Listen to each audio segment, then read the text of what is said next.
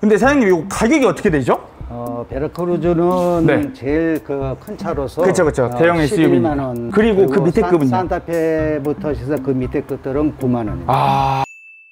여러분 반갑습니다. 따식입니다. 자, 저번 영상에 베라크루즈 차박 테스트를 하면서 베라크루즈가 차는 큰데 2열을 folding 시켰을 때 경사가 조금 높아가지고 그 상태로 차박하기는 좀 힘들었는데 이 차의 맞춤형 평탄화 키트를 제작했는데 설치했을 때 또 어떤 모습이 나오는지 한번 보여드리도록 하겠습니다. 자, 이곳이 안중 차박 평탄화 키트 제작소인데 우리 사장님을 한번 모셔가지고 평탄화 키트를 어떻게 만들었는지 한번 보여드리도록 하겠습니다. 일단 사장님 한번 나와주세요. 반갑습니다. 안중 차박 키트 제작소 어, 대표 이- 이한기입니다. 대표님이 평탄화 키트를 제작했잖아요. 네. 그래가지고 대표님이 만든 이 평탄화 키트를 한번 올려가지고 순정 상태에서는 차박하기가 조금 힘든 베라크루즈가 차박하기 좋게 변했는데 한번 보여드리도록 하겠습니다. 네, 일단은 평탄화 키트는 이렇게 생겼고 만드는 시간은 약 1시간 정도 걸렸다고 합니다. 만들어서 설치까지 그 다음에 이제 그 위에 네, 이렇게 또 평탄화 시킬 수 있는 판이 그 위에 올라가서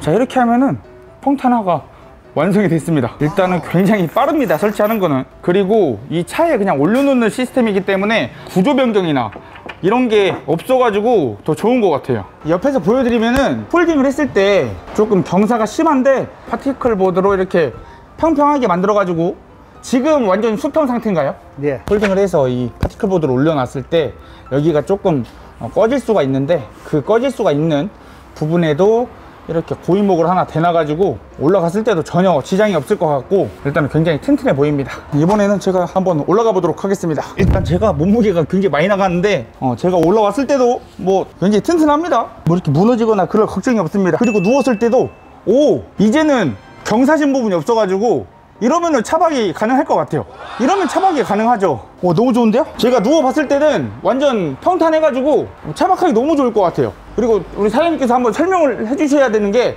여기서 여기까지 지금 몇 센치 나오죠? 요거는 차주님께서 네. 1열 시트, 2열 시트를 건드리지 않은 상태에서 언제든지 운행을 할 수 있게 해달라고 하셔서 네. 평탄 길이를 조금 짧게 제작을 했어요. 운전을 바로 할 수 있게 네. 그냥 이 상태에서 어, 이동할 수 있게끔요. 그러면 이렇게 깔고 다녀도 되겠네요 그렇죠. 어 그래서 지금 저 운전석하고 조수석을 당겨놨지만 네네네 사실은 안 당겨도 돼요. 어, 안 땡겨서 예. 운전도 가능한 예. 네 그렇게 제작을 해가지고 지금 1m 70으로 제작이 되어 아, 있어요. 170으로 제작을 해가지고 네. 혹시 우리 차주님 키가 어떻게 되시죠? 167입니다. 아 그러면은 우리 차주님한테 완전 딱 안성 맞춤이네요.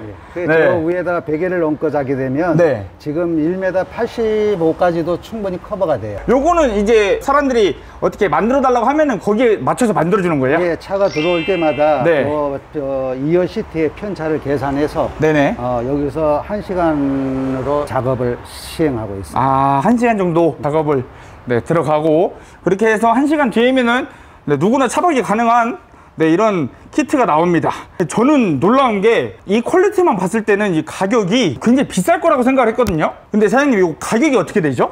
어, 베르크루즈는 네. 제일 그 큰 차로서 그렇죠, 그렇죠. 어, 대형 SUV. 11만 원. 와.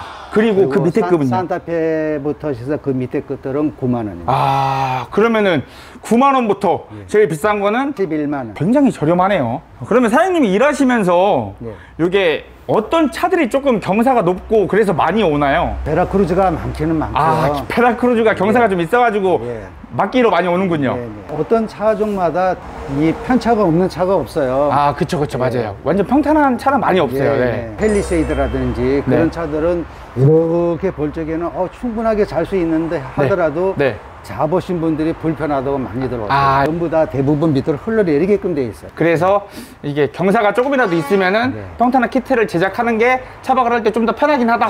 그리고 이게 사실 9만 원이면은 엄청 싸긴 하거든요. 아, 어려운 시기에 나눠야죠. 아 지금 또 시기가 네. 시기인 만큼 네, 네. 그래서 저렴하게 네. 팔고 있고 우리 차주님은 만들어진 거 봤는데 좀 어떠신 것 같아요? 만들길 잘했다고 생각합니다. 아 만들기 잘했다. 예. 그럼 일단 가격 대비는 굉장히 만족하는 편인가요? 예, 대만족입니다. 아 가격 대비 대만족이다. 네네. 사장님 한번 설명 한번 해주는 거 있으면 좋을 것 같아요. 먼저 이렇게 차박 키트가 설치됐을 때 이 커버를 열을 적에는 네. 이 밑에도 수납을 할 수가 있어요. 아. 그러면 양손을 벌려서 네. 위를 당기지면 아주 쉽게 열려요. 네. 그럼 여기다가 이제 필요한 물품들을 어, 넣으시고 어. 어, 닫을 때는 이걸 밑에서 이렇게 해서 밀어 닫으면 쉽게 닫혀요. 아. 근데 이거를 항상 닫아 놓으셔야 되지 안 그러면 여가 약해질 수 있어요. 힐 수가 있어요. 아, 이게 괜히 있는 게 아니군요. 네네. 뭐 막아놓는 용이 아니고 이게 네. 밑에 받침용이군요. 그래서 이게 힘 방지용이에요. 아. 어, 이렇게 놓으면 여기에 나중에 예, 트렁크 공간으로 쓰실 때 네. 여기다가 뭐 쌀을 많이 실는다든지 오. 물건을 많이 실을 때 네.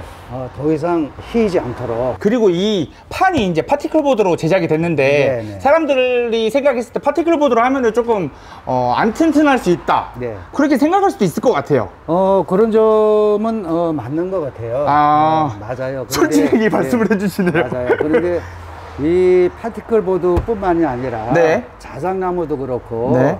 이게 누가 마- 어떻게 만드느냐 아. 그리고 쓰시는 분이 어떻게 쓰시느냐에 따라서 음. 이게 결정되는 일이라고 저는 생각을 해요. 아. 근데들 다들 이 파티클 보드는 몸에 해롭지 않느냐 이렇게들 생각을 하시는데 집집마다 이 제품이 없는 집이 없어요. 아, 집에도 다 파티클 보드가 들어가 있다. 있죠. 아. 싱크대부터 시작해서 북박이장, 아. 뭐 수납장, 책꽂이 네. 다 이재질이에요. 집집마다 그 많은 이 파티클 보드가 다 들어가 있어요. 네. 결론은 파티클 보드가 몸에 어, 해롭지 않다, 상관없다. 네, 그렇게 생각을 해주시면 되겠고 이어서 네, 설명 해드리도록 하겠습니다. 차박이 끝나시면 차박이 끝나고요. 예, 이 볼트는 고정 볼트예요. 네네. 그렇기 때문에 얘를 마땅하게 둘 데가 없어서 네네. 어, 얘가 없어도 차박하시는 데는 아무 무리가 없어요. 아, 지장은 없군요. 떨어지고 네. 그러진 않아요. 네네. 얘를 꼽음을 해서 네. 어, 얘가 또 이탈되지 않고 서로가 네. 이렇게 네. 이탈되지를 않아요. 그래서 여기다가 보관 볼트를 해놓은 것 뿐이에요. 이 판은 나누면 나눌수록 네. 꼴렁임이 심해요. 아, 그쵸. 네, 그래서 될 수 있으면 이렇게 온판으로 가는 걸 저는 늘 추천을 합니다. 아. 그래서 끝나고 나면 여기서 이렇게 살짝 들어서 오. 여 위에 얹어서 네. 그러면 여성분들도 쉽게 이렇게 밀 수 있어요. 오. 이렇게.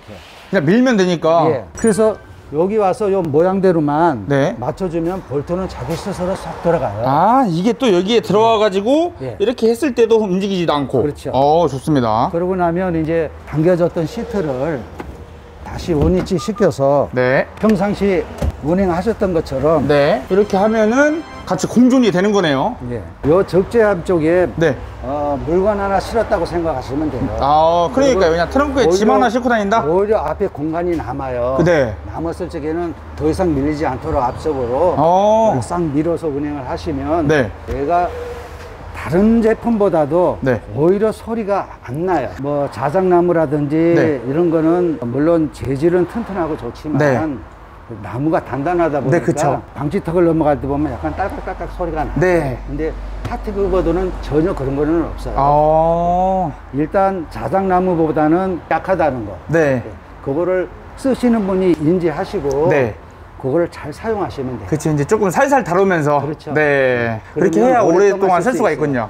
네, 일상적인 생활을 할 때는 트렁크에 이렇게 놓고, 그 다음에 차박을 갈 때는 2열을 폴딩 시켜가지고, 이 위에 판을 밀어가지고, 2열 폴딩 위에다가 올려놓으면은, 네, 바로 차박이 또 되고. 이 아이디어는 사장님이 생각을 하신 건가요? 아, 예. 제가 낚시 다니면서 아, 낚시를 하셨군요, 원래. 오랫동안 사용을 했었어요. 아, 원래 그러면 옛날부터 이렇게 사용을 네, 했었네요? 네, 네. 아.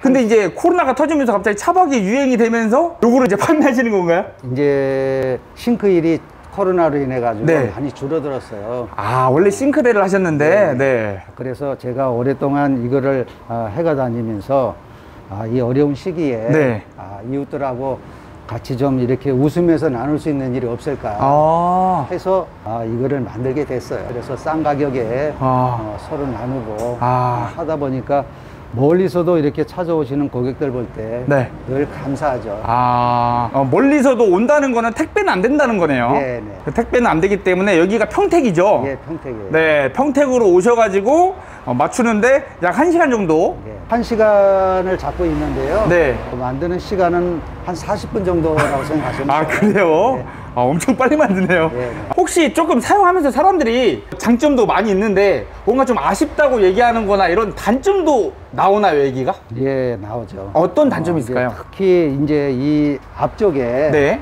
나는 혼자 있을 일이 많다. 네. 이래가지고 이걸 6대 4로 아. 이거를 분할해달라는 분들이 더 계세요. 그 예를 들어서 한쪽만 folding 시켜가지고. 그렇죠. 아. 그러면 거기 앉아서 어, 나는 뭐 노트북도 하고 아, 네네네. 어, 뭐 밥도 먹고 어, 이렇게 하시겠다 네. 그러는데 어느 제품이든지 마찬가지예요. 네. 자작나무를 하든 파티클 보드를 하시든 네.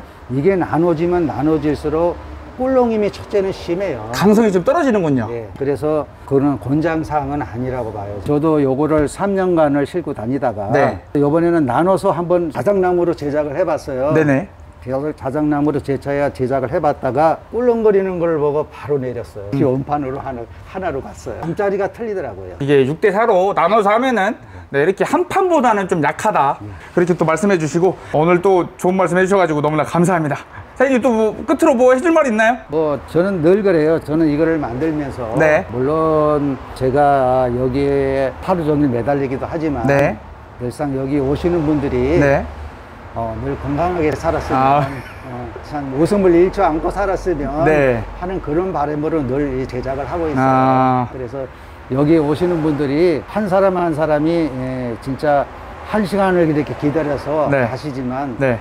진짜 기쁜 마음으로 가실 때 오히려 제가 더 어, 보람을 느껴요. 아 그러면은 지금 와서 이렇게 바로 작업하려고 하면은 예약을 해야 되죠. 예, 예약을 하셔야 됩니다. 어, 지금 혹시 얼마나 예약이 돼 있을까요? 지금은 이제 날이 덥다 보니까요. 네. 그렇게 많이 밀리지는 않았어요. 아, 지금 여름이라서?